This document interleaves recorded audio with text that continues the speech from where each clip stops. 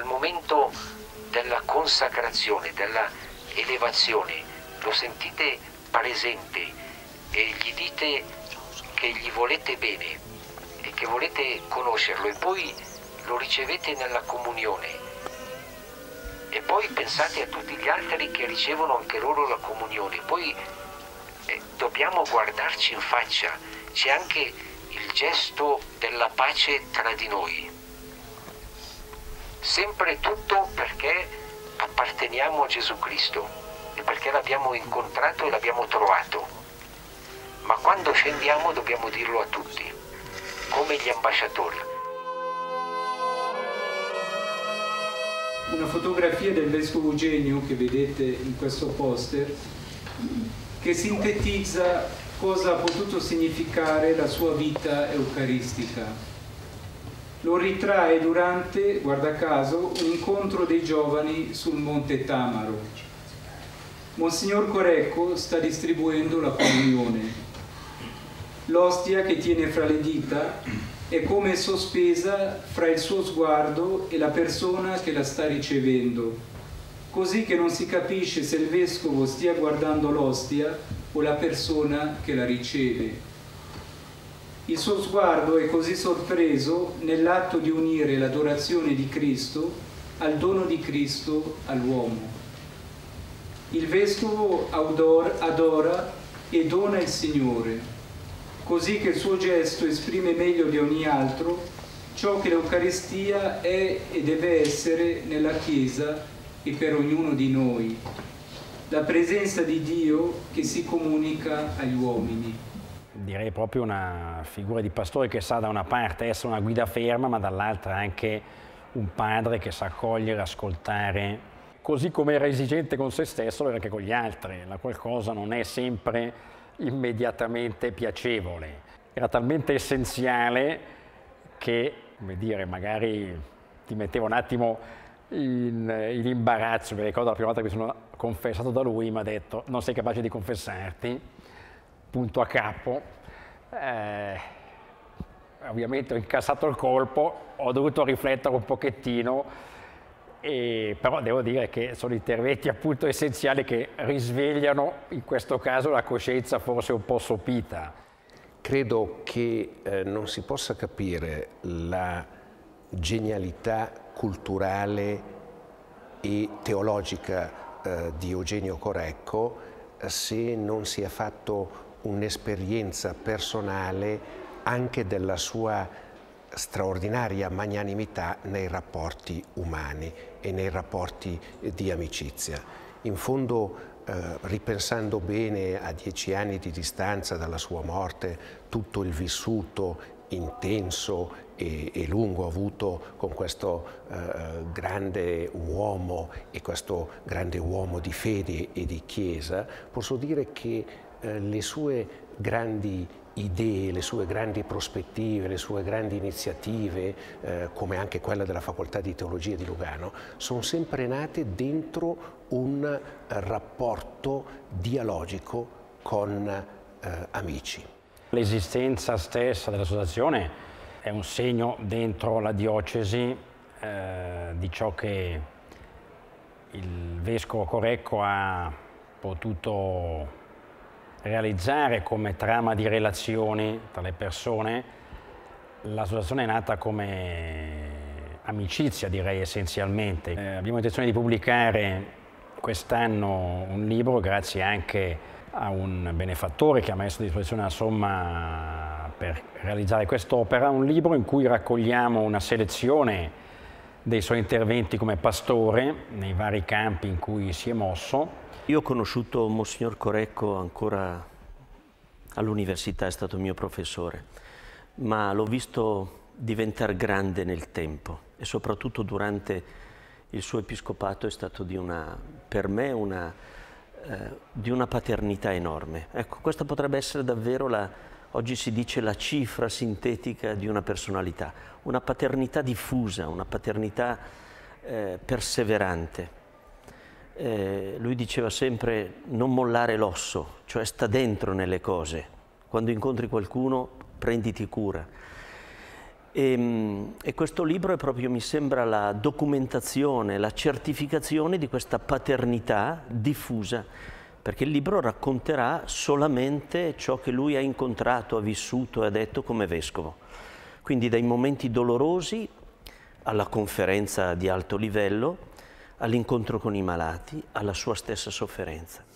Il mio ricordo è di avere avuto, come ho tentato di dire nell'omelia, l'impatto con un uomo nuovo e quindi un vescovo nuovo che uh, ha portato una ventata uh, di novità uh, con una forza particolarmente eh, significativa e esigente nel vivere la fede e anche introducendo novità nella nostra vita ecclesiale che adesso richiedono ponderazione, discernimento, valutazione, completazione, una presenza breve ma ehm, molto pregnante, molto significativa.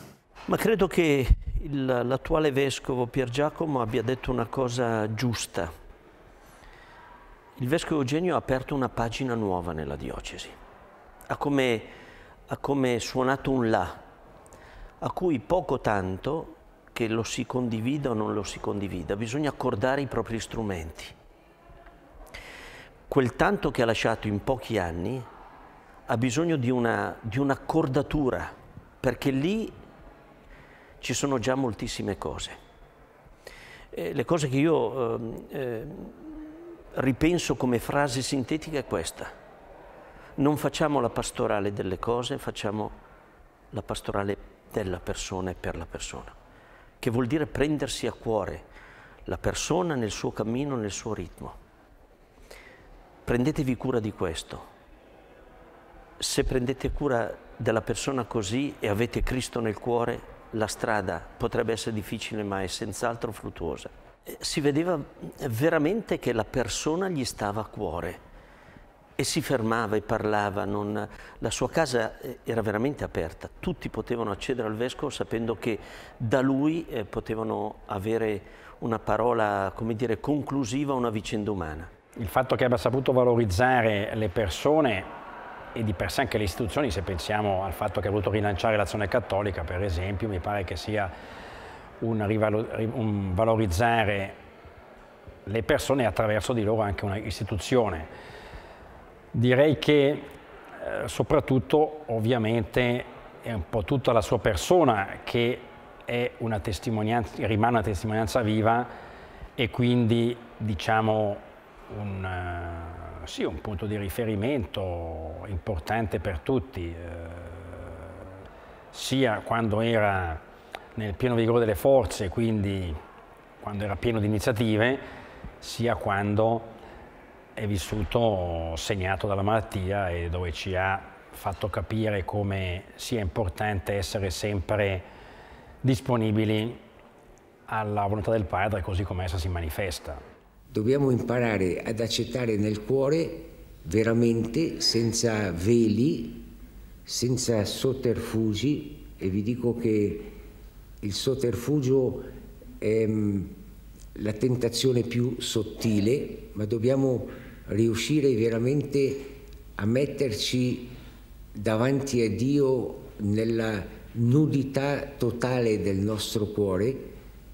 Eh, noi dobbiamo accettare la malattia. Questa è la condizione perché la malattia possa diventare segno profetico, possa diventare il momento nel quale superiamo le tentazioni che abbiamo dentro nel corso di tutta la vita, ehm, possiamo capire che la malattia è in ultima analisi, ma veramente una grazia perché ci cambia eh, interiormente, ma l'accettazione è eh, il presupposto che dobbiamo avere dentro di noi. Ed è il presupposto che il Signore ci può dare come grazia, che da soli non possiamo ehm, realizzare eh, totalmente. Questa era la sua paternità, io potrei citarne tantissimi di episodi, ne ho in mente uno, ma eh, potrebbe essere questo che mi riguarda personalmente. Era il giorno prima eh, eh, della partenza per Roma, io avrei fatto il dottorato il giorno dopo. Lui era a letto, malato, e dolorava.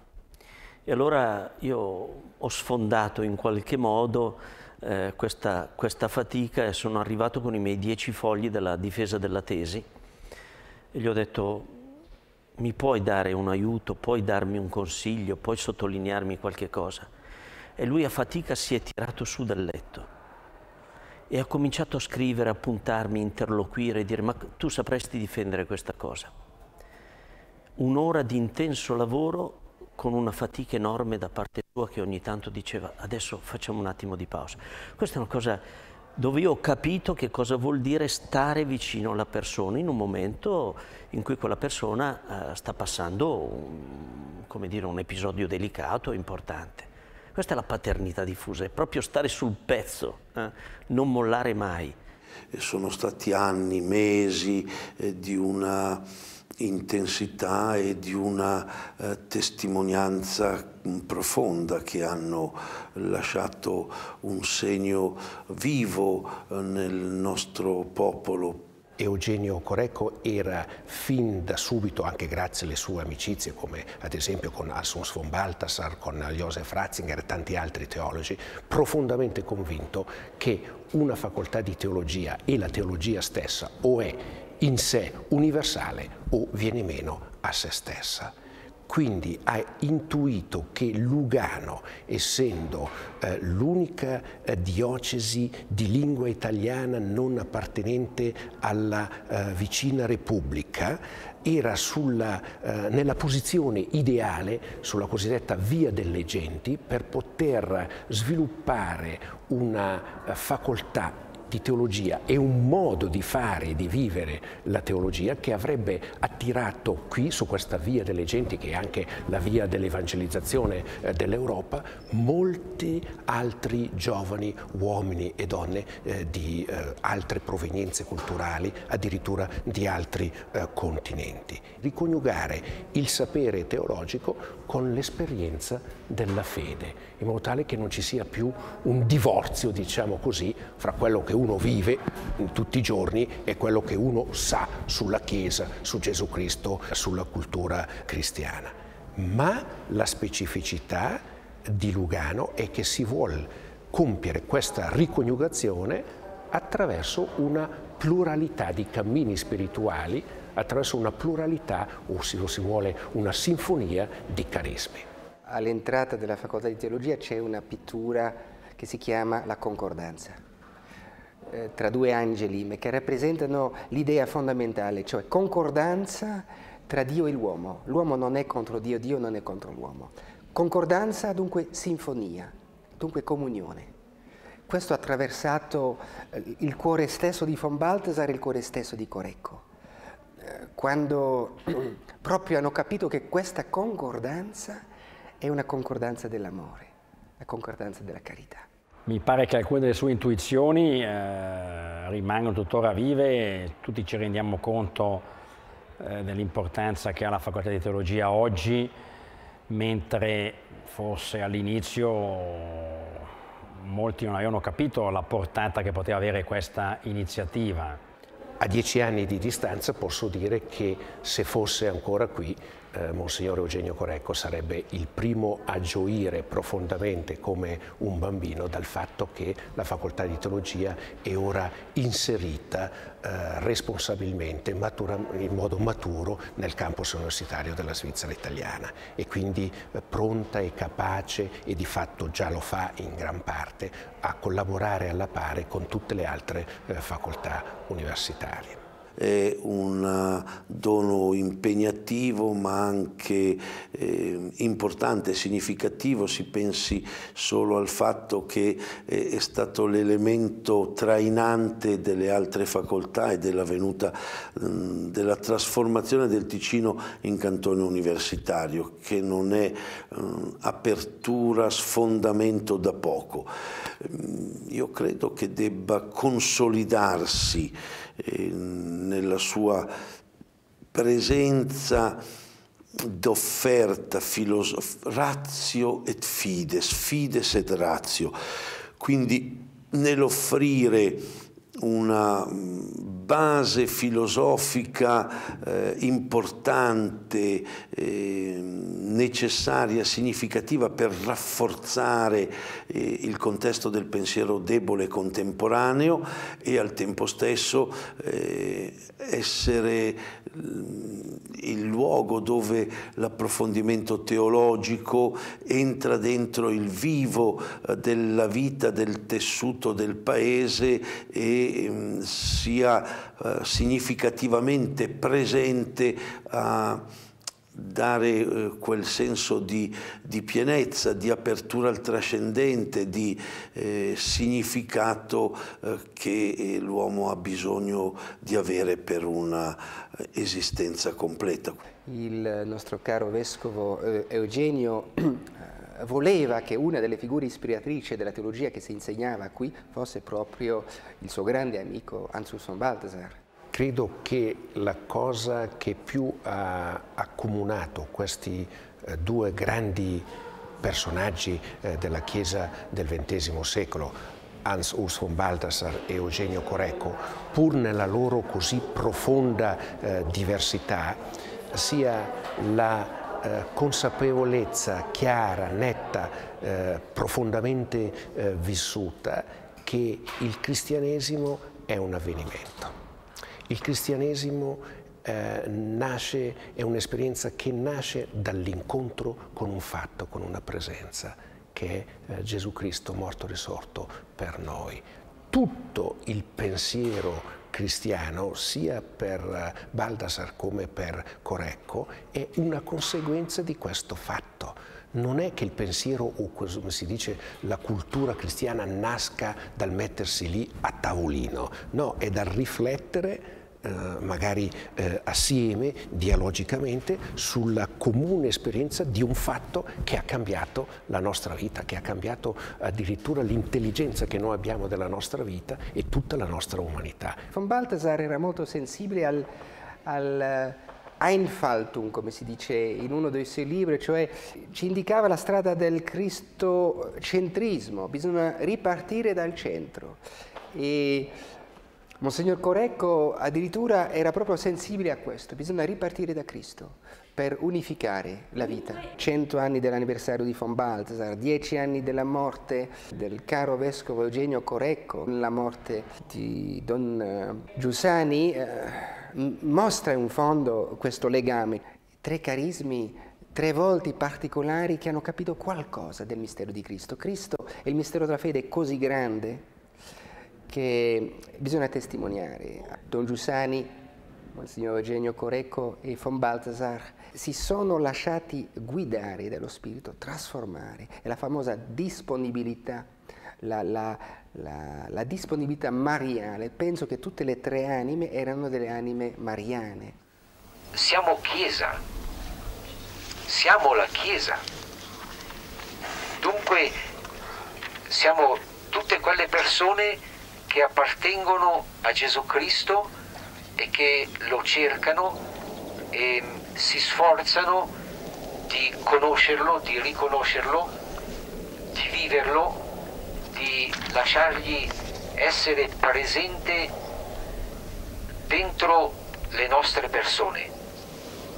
Non possiamo fare come se non ci conoscessimo, perché tutti quanti abbiamo in comune la stessa cosa, il fatto di aver dentro Gesù Cristo nella, nella nostra vita, perché siamo cristiani